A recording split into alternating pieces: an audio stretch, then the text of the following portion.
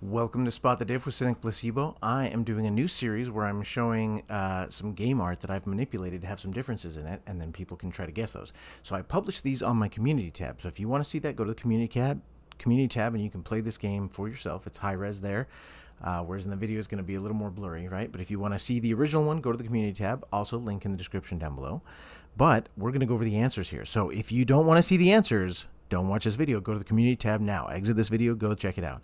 If you can't find all the answers though and you need a little help, this is where to come.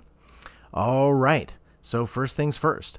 Uh, so you can see this is Half-Life 2, and the original image is on the left side, whereas the altered image is on the right side, and we're just going to go over all the differences. So number one is, this is not Half-Life 3, this is Half-Life 2. As much as we wish Half-Life 3 was a thing, it is not.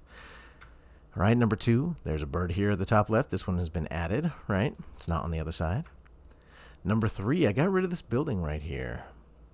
All right, number four, little soul patch is gone, right? His flavor saver, not there. Poor Gordon Freeman won't be able to double taste his soup. And then I also took out this pillar right here from the side. And then I added this wire. So there was a hint of a wire already over here, but I added the rest of a wire down here because previously there wasn't that. All right, and then those with a keen eye will have spotted that the Lambda logo has been mirror imaged on this side, which is not correct. And of course, Alyx is not this happy about being surrounded by antlions, so she's not smiling. But, you know, I give her, turn her frown upside down. And then this one is probably the hardest one. This is a little stain on the pillar over here, right? And I got rid of that stain. And this one may be obvious, but her gun is missing.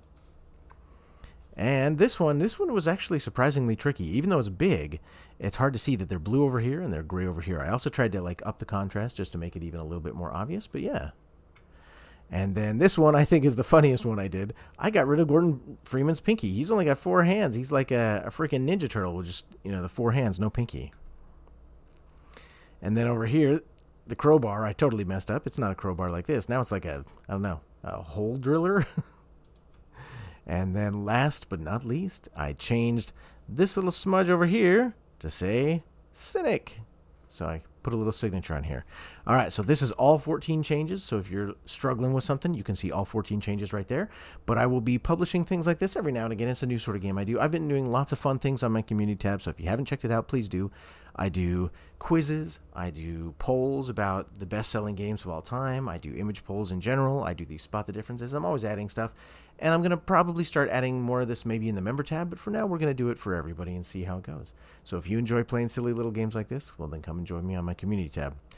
But as always, I've been Cynic Placebo. Thank you so much for joining me, and I will catch you guys in the next one. Cheers.